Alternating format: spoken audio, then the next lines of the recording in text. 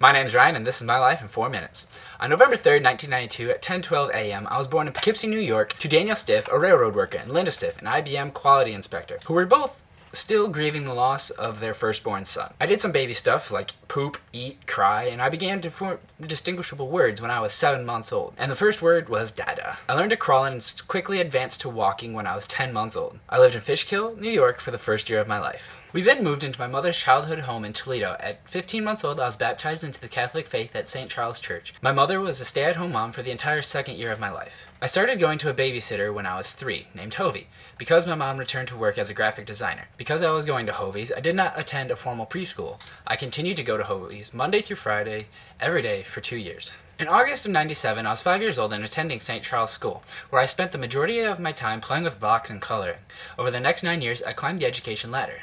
With each passing year, I learned more and more skills that would carry me through life, such as basic math, how to write, and how even how to make friends. When I was seven, I had my first communion and soon after had my first migraine. Little did I know that these pesky little buggers would soon plague me for the rest of my existence. In sixth grade, I played football for the St. Charles Bulldogs. The following year, we won the Toy Bowl. After completing my sacrament of confirmation, I graduated the eighth grade. I started my freshman year at St. Francis loving the classes, but I despised my peers. On November 27th, my migraines really started to kick in. Up until this point, I had never had a migraine that had lasted more than a few days. This particular migraine lasted for two years, but more on that in a different video. I missed 78 days of school that year and still maintained a 3 point something. In the fall of 2008, we moved to Swanton, Ohio. I transferred to Evergreen High School, where I liked the people, but I hated the classes. During that year, I met a great group of people known as my friends. This consisted of Jake Weber, Wes Bandy, Joe Stunsman, Stephen Mack, Dakota Bick, and Colby Steller. Hi.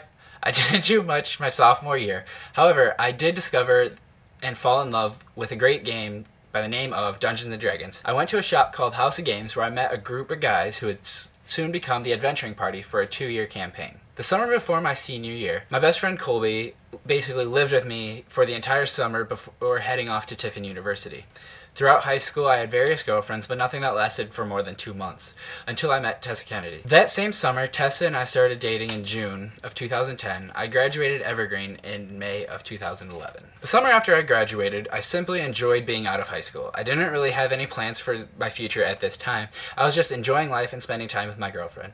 I made last minute plans to attend Owens Community College that fall, where I would study commercial art technologies. Later in October, I did my first season at HalloWeekends as a Screamster. I immediately fell in love with it. As usual, my migraines got in the way of my work, so I had to withdraw from all but one of my classes. Once I dropped out of college, I needed something to do with my life. I applied for various jobs. I started working for Manpower Temp Agency. However, this was not my first time working.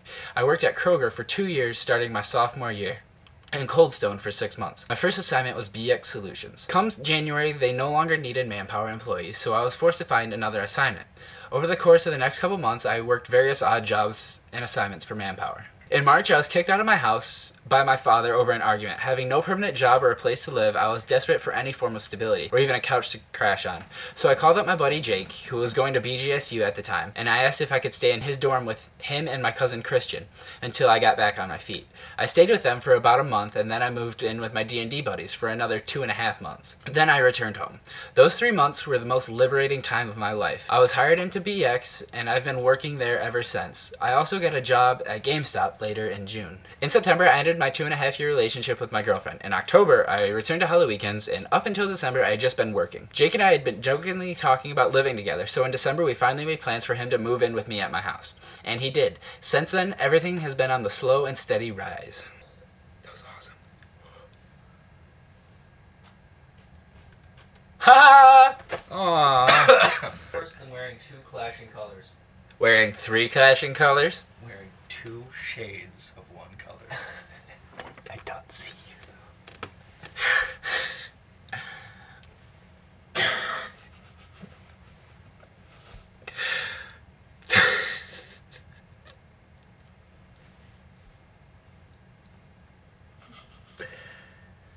Thanks, guys, for watching. no pressure.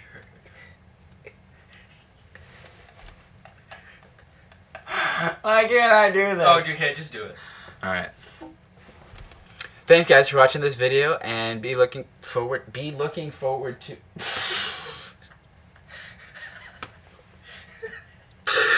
This is hard enough as it is. Why must you make it more so? I can see you now. Why? Why? Thanks guys for watching this video and Thanks guys for watching this video and be sure to dis- to describe to describe describe my video. Thanks guys for watching this video. Be sure to put a comment below. Thanks guys for watching this video. If you subscribe.